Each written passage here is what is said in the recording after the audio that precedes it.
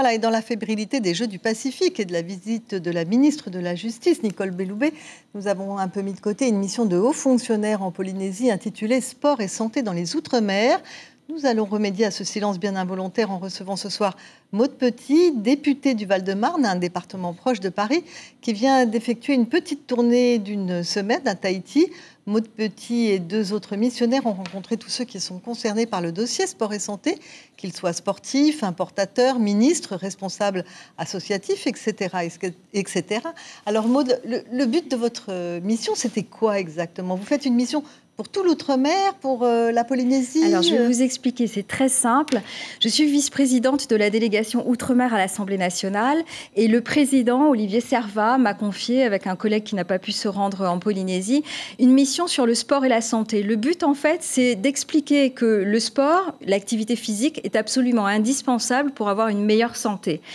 Effectivement, c'est dédié aux Outre-mer. Alors, on s'est dit, la Polynésie, ça peut être très intéressant parce que c'est un territoire, en fait, où la délégation Outre-mer n'était jamais venue.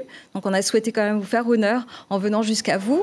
Et puis aussi parce que Petit clin d'œil, vous avez une Miss France qui est quand même originaire de la Polynésie et qui a eu un beau parcours, qui était voilà en surpoids quand elle était gamine et qui a vaincu euh, ce surpoids par euh, l'activité physique, le sport, etc. Et qui aujourd'hui est une superbe jeune femme qui représente la France tout entière. Alors vous, vous êtes arrivée pendant le journal, en cours de journal, mais vous avez quand même vu le, sujet là sur les escape games, enfin toutes ces nouvelles salles. Vous pensez quoi de ça? Mais Je trouve que ça peut être intéressant. Justement, je me suis fait la réflexion en voyant le reportage parce que juste c'est un type d'activité physique qu'on peut proposer euh, aux enfants, aux jeunes. Et puis pourquoi pas, après tout, à partir du moment où on se bouge, on a une activité, je trouve que c'est intéressant. Alors, euh, euh, la Polynésie, je suppose que vous n'avez pas terminé votre mission, mais la, Polynésie se situe comment par rapport aux Outre-mer dans cette dynamique santé, sport euh. Alors, j'avais déjà des informations pour avoir commencé des auditions depuis un mois et demi, des informations sur le fait que la Polynésie était euh, assez mal classée au niveau du surpoids et de l'obésité. Oui.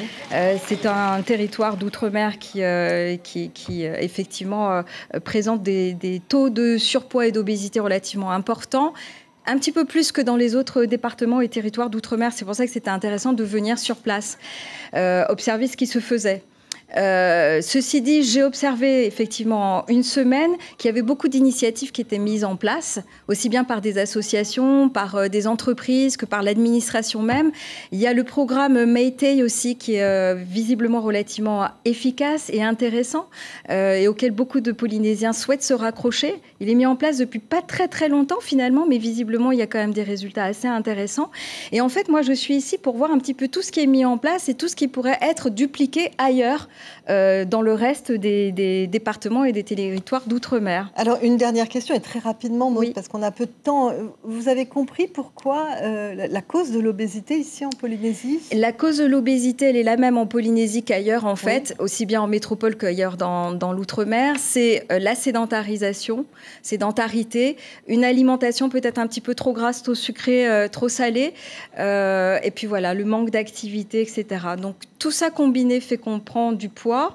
Ça entraîne des pathologies et ça, il faut le savoir effectivement, puisqu'il peut y avoir du diabète, de la tension, euh, et puis ça peut conduire à de la cécité, voilà, de l'amputation. Ça commence très tôt, donc il faut y remédier par le sport et l'activité physique. Merci euh, Maud Petit, bonne fin de mission. Merci on, beaucoup. On attend euh, votre rapport en octobre sur le sport et la santé dans les outre-mer, donc en octobre. Voilà, je vous remercie.